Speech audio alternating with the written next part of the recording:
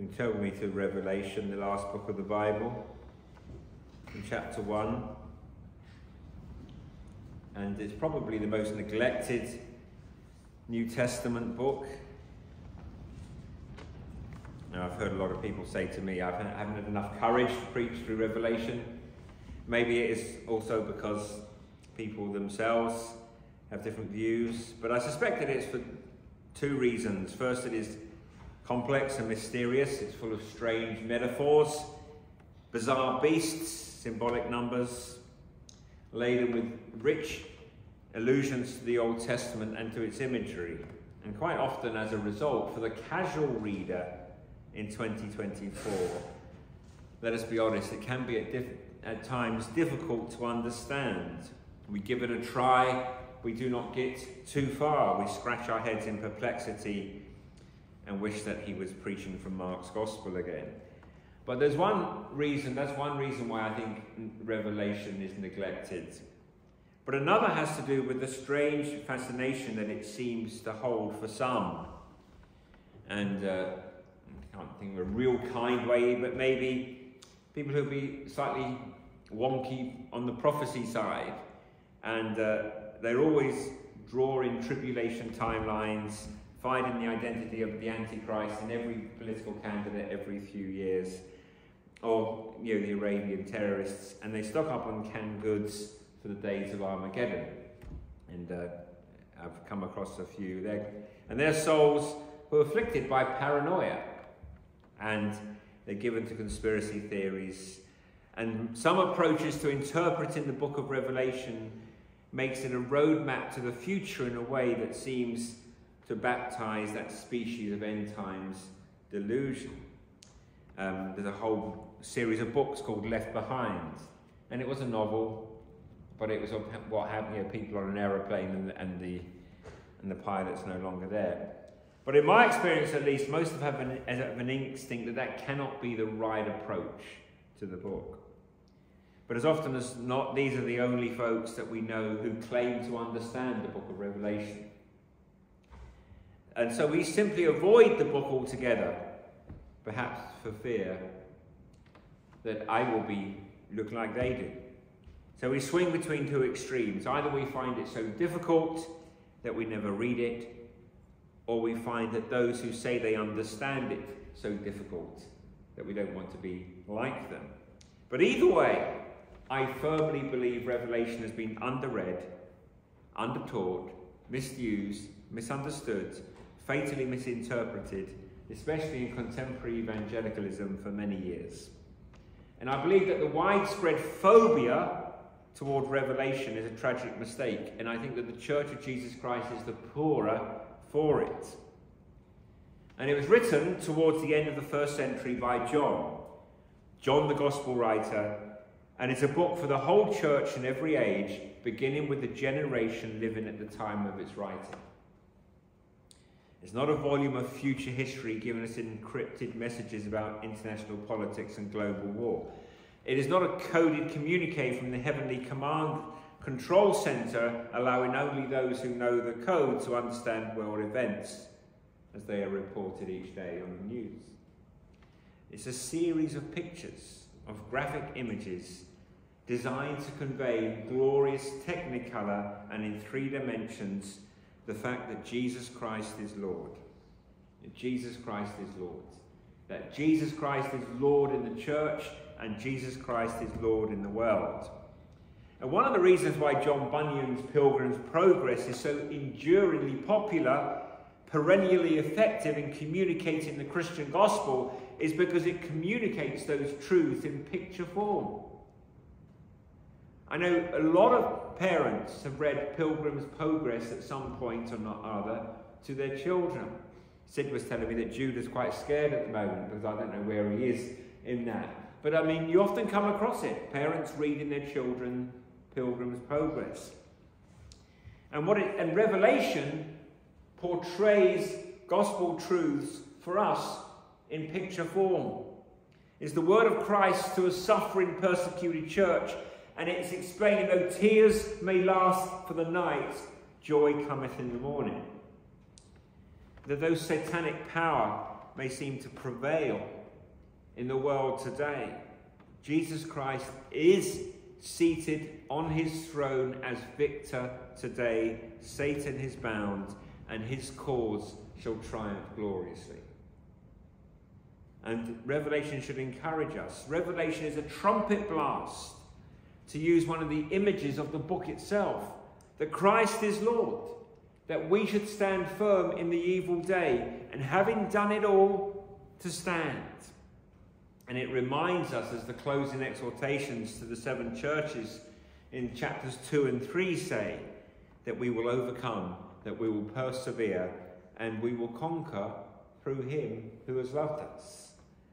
So it's a book, the message of which we must hear and see in our mind's eyes more urgently than ever before. That as we face as a church, as this church faces, as the, as the faithful church of Jesus Christ faces across the world, cultural marginalization, social exclusion, economic sanction, and in many places right now today, brothers and sisters are being physically persecuted for the sake of the gospel. And it lifts our eyes to the heavenly throne room so that we, with John, like in Revelation 4, verse 2, behold a throne and we see the one who is seated on there. The one that we've been singing about, the one that we prayed about, the King of Kings, the Lord of Lords. And it's for the comfort and the encouragement of all our hearts. This afternoon, I briefly want to look at verse, the first 11 verses of chapter 1. And uh, you can divide it up into a few ways. You could have just done verse 1, you could have just done verse three, the first three verses. I'm going for the first 11 verses because I believe it functions as John's introduction to the book. So let's read it together. Revelation 1, verse 1. The revelation of Jesus Christ, which God gave him to show to his servants the things that must soon take place he made it known by sending his angel to his servant John, who bore witness to the word of God and to the testimony of Jesus Christ, even to all that he saw. Blessed is the one who reads aloud the words of this prophecy, and blessed are those who hear, who keep what is written in it, for the time is near. John to the seven churches that are in Asia, grace to you and peace from him who is, and who was, and who is to come, and from the seven spirits who are before his throne and from Jesus Christ, the faithful witness, the firstborn of the dead, and the ruler of kings on earth. To him who loves us and has freed us from our sins by his blood, and made us a kingdom, priests to his God and Father. To him be glory and dominion forever and ever. Amen. Behold, he is coming with the clouds, and every eye will see him, even those who pierced him. And all tribes of the earth will wail on account of him. Even so, Amen. I'm the Alpha and the Omega, says the Lord God, who was and is and who, who was, who is and who was and who is to come, the Almighty. John, I, John, your brother and partner in the tribulation and the kingdom and the patient endurance that are in Jesus, was on the island called Patmos on account of the word of God and the testimony of Jesus. I was in the Spirit on the Lord's day. And I heard behind me a loud voice like a trumpet saying, Write what you see in a book and send it to the seven churches, to Ephesus, to Smyrna, to Pergamum, to Thyatira, to Sardis, to Philadelphia, and to Laodicea. Thank the Lord that He's spoken in the reading of His holy and inerrant word. So, why would we, a few of us this, this evening, spend our precious Sundays examining this obscure volume of ancient Near Eastern apocalyptic literature? What an odd thing to do.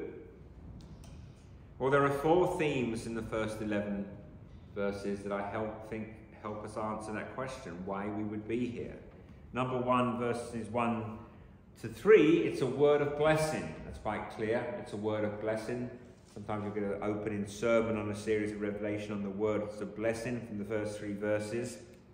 Verses four and five, they're two verses, is a word of grace. So there are four words. So there's a word of blessing in the first three verses. There's a word of grace in the fourth and fifth verse. In verses 6 to 8, the three verses there, it's a word of praise. And the last three verse, last two, three verses, 9 to 11, it's a word of encouragement. So it's blessing, grace, praise, encouragement.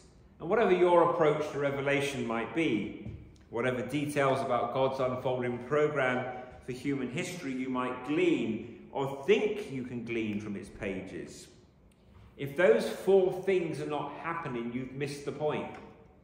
Blessing, grace, praise, encouragement. If those four gifts are not taking root in your heart as you read Revelation, you're reading it wrong. So, first of all, it's a word of blessing.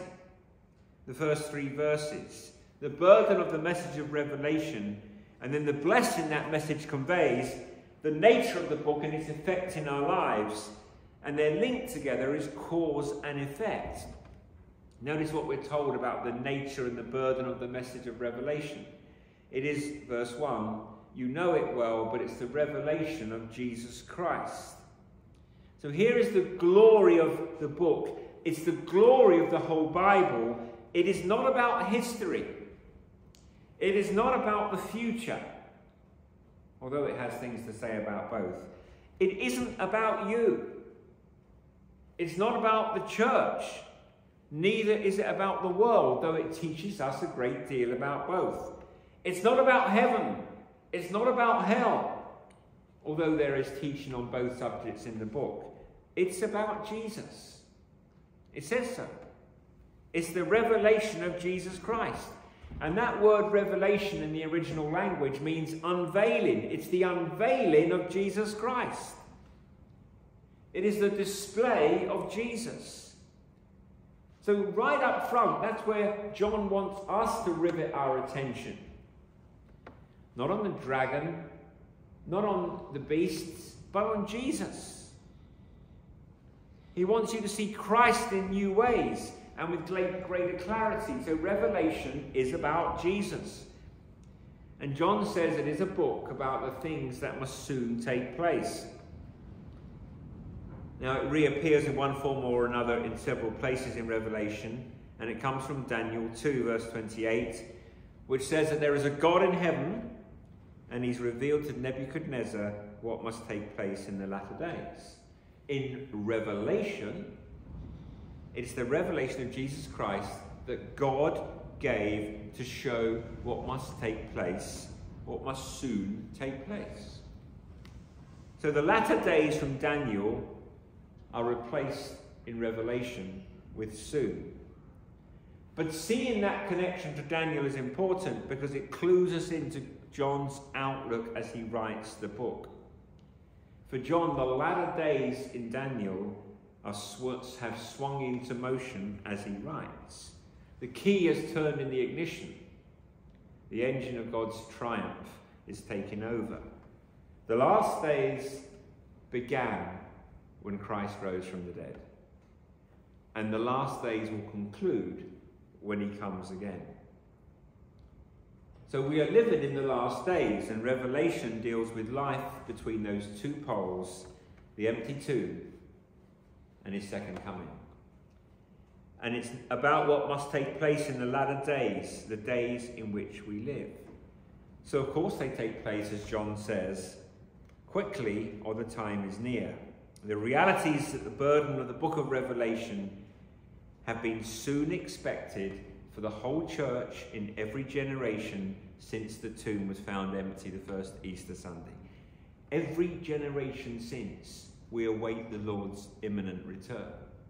My parents used to tell me about how they were sure that the Lord's coming was going to be that week during the Second World War because it was so terrible to live through those days.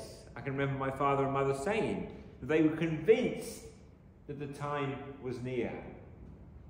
And if you think about it, and then you put that into different generations, faithful Christians of every generation have always been aware that we live in the last days. We do not need to convince ourselves is um, around the corner, you know, it's just around the corner for Revelation to speak with immediacy and relevance to our situation today. It was not written for the church down the line, it's written for the church of the last days in which we live. And notice in verse 2, that the book is the careful eyewitness account of John to the Word of God and the testimony of Jesus. So that's what we have in Revelation, not the inventions of John's fevered imagination. This isn't the first century equivalent of Alice in Wonderland. This is the Word of God and the testimony of Jesus. It's the Word of God, the testimony of Jesus. The authority of God attends revelation. The voice of Jesus is heard in revelation. So, however difficult it may be to grasp, however obscure you may find it, given its burden to show us Jesus within our so- which our souls so badly need, and given its relevance for the days in which we live, and given the fact that it's God Himself and the voice of Christ, the witness of Christ addressing us, do you think that we can really neglect it and leave it unread? Dare we leave its pages closed and its images unexplored without damage to our spiritual welfare? So, but what happens when we begin to read? What happens when we begin to read it? It's no surprise that its effect is sheer blessing. Blessed is the one who reads aloud the words of this prophecy, and blessed are those who hear and who keep what is written in it, for the time is near. So give yourself to revelation. Read it each week. You'll see Jesus. You'll hear God. You'll find yourself equipped and garrisoned against the enemy in these days. Blessing. That's what's on offer here. And of course, what John says about Revelation in particular could equally be said about the whole Bible for sure. Read, hear, keep the words of the book, blessing. And I think our souls are lean, starved of nourishment. The eyes of our faith see so little. Our spiritual courage fail us so often because of our neglect of the Bible, but yes, our neglect of revelation. Read, hear, keep. Revelation is a word of blessing. Secondly, it's a word of grace. It's a word of blessing. It's a word of grace, verses 4 and 5. It's a letter to the seven churches. And so it follows the natural, normal letter writing conventions. It begins with grace and grace to you and peace. But as you well know, the New Testament uses those customary greeting words and transforms them to something else. They become words of benediction, words of the promise of the gospel. And I might conclude an email to you with, I often do, um, blessings James. It's just the way I've always done it for the last 15 20 years. I do it if I remember. And because it's James's name that follows the wished for blessing, immediately you recognize it for what it is. It reflects my desire for your welfare. But that's all it is. I haven't got any power to effect in your life the blessing that I wish for you. But when we hear these words, grace to you and peace from him who is and who was and who is to come, and from the seven spirits who are before his throne, and from Jesus Christ, the faithful witness, the firstborn of the dead and the ruler of kings on earth. When we hear that the grace and peace is offered and promised by Father, Son, and Spirit, well, we know that we're dealing with something altogether different from a casual and customary greeting. When the triune God, Father, Son, and Holy Spirit speaks grace and peace, He alone is in a position to deliver what He promises. You see that? And the description of the Trinity is a wonderful description. It's one of the I think, the most richest descriptions in the, in the Bible. God the Father, the one who was, who, who was and is and is to come. The unchanging, immutable God, sure and steadfast, utterly reliable. When he makes a promise, it's guaranteed by who he is. The seven spirits is a description of the Holy Spirit. Numbers in Revelation are extremely important, and number seven is probably the most important of all. It has that architect's role in structuring the whole book because the seven parallel pictures the seven churches, the seven seals, the seven trumpets, the seven bowls of wrath. And seven is the number of divine perfection, it's the perfect divine number. So the seven spirits are perhaps better translated the sevenfold spirits, the way to express divine perfection. So as the, as the book unfolds in these sequences of seven, the Holy Spirit is the sevenfold spirit in a way to say that the unfolding drama of God's purpose for the glory of the name of Jesus Christ only plays out under the activity and work of the Spirit of God. So he's before the throne, ready to do the will of the one who is seated and reigning. So we have who was and is and is to come. We have the sevenfold spirits, and we have the faithful witness, Jesus Christ. And as, as you may know, the churches of Asia to which Revelation was written was enduring sharp persecution for their faith. There is a real cost to being followers of Jesus. They were learning firsthand. But there's grace and peace in Jesus Christ, who is himself the faithful witness, faithful even unto death, and the victor over it. He's the firstborn from the dead, and he's the ruler of kings of earth. Satan is defeated. As we will see in Revelation, he is bound. And the risen king is the ruler of the kings on earth. When the culture opposes the church as it did in John's day and as it does in our day, we can say very, very clearly it is easy to lose heart. It's easy to lose heart when, when, when Christian leaders fall, as we saw last year, or Christian leaders seem to stumble, or Christian leaders seem to compromise. It adds to the discouragement. It's easy to get discouraged. It's easy to say that the current gloom is only going to get darker. How can we ever stand firm against such rejection? John says, Remember that Jesus himself is the faithful witness who endured even the death on the cross, and the grave didn't hold him. The grave could not hold him. He rose, and God has highly exalted him.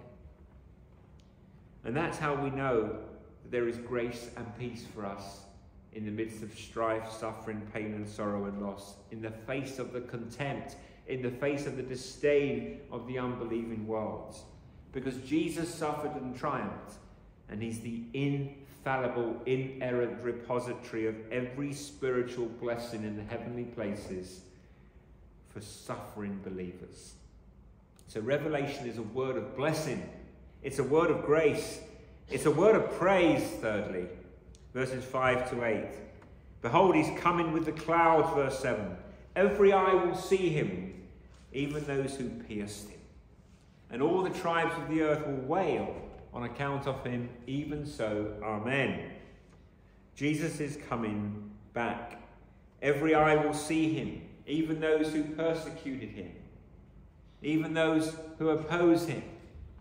He will settle accounts. He will judge the world in righteousness, which means that time is short. And if you do not know Jesus Christ, he will come as a thief in the night when you are not looking for him.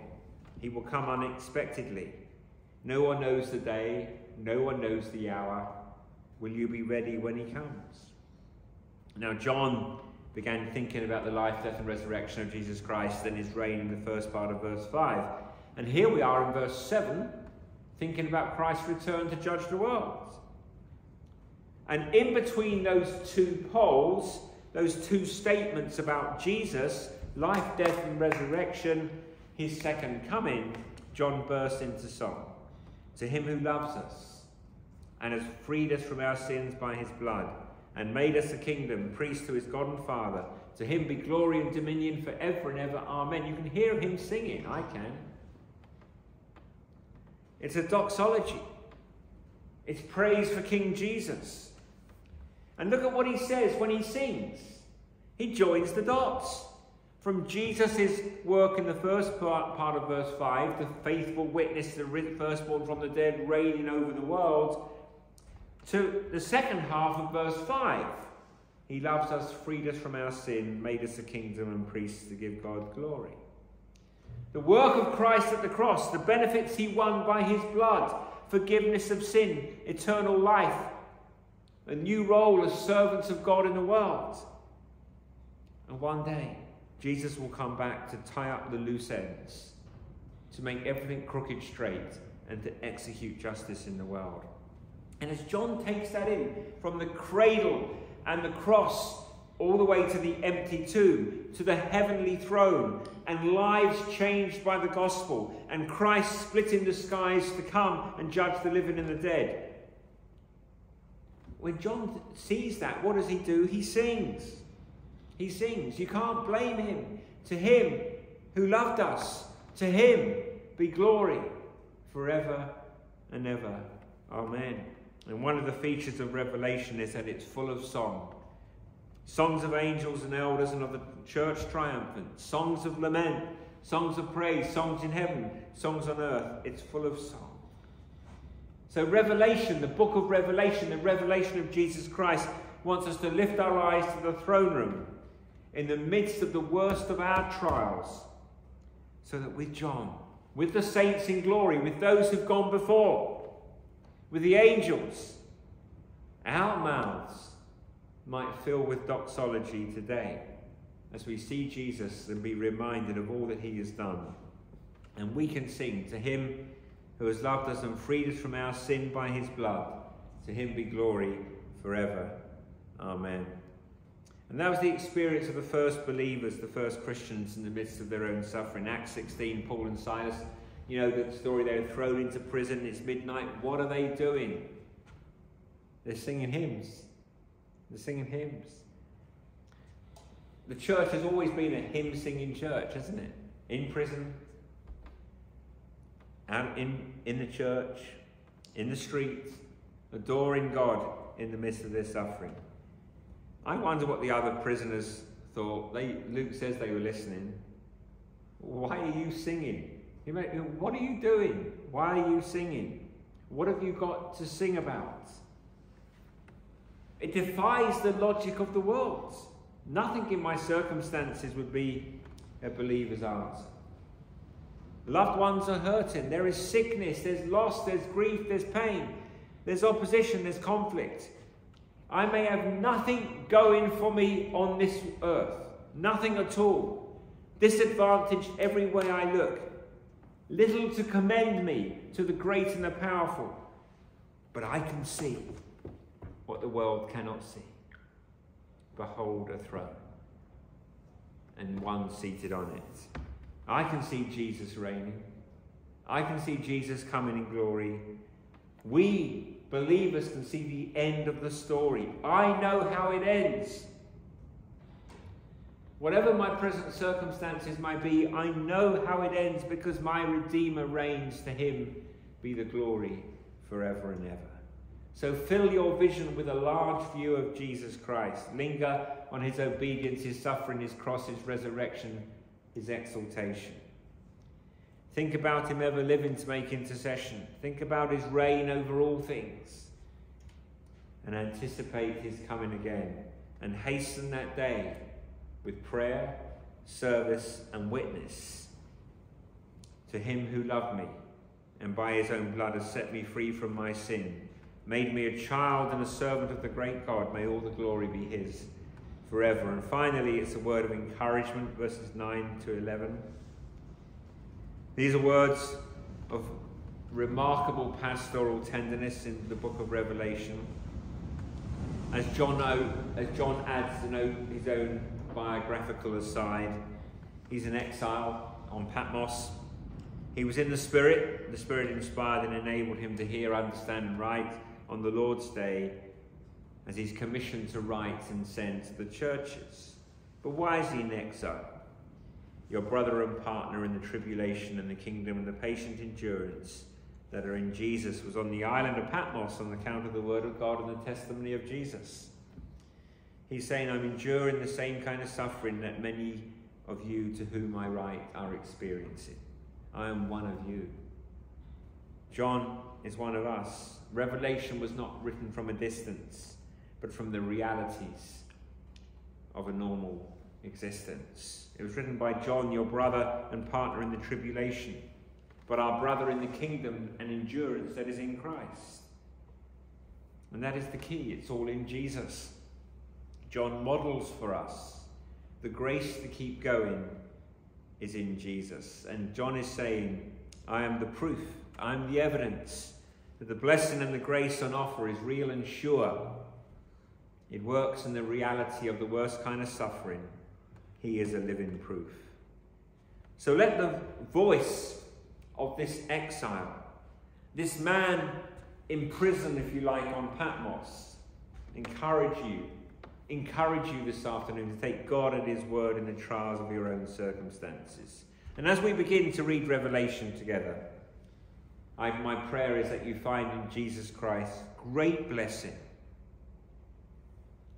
abundant grace, unceasing fuel for praise and encouragement. May the Lord bless His word to us.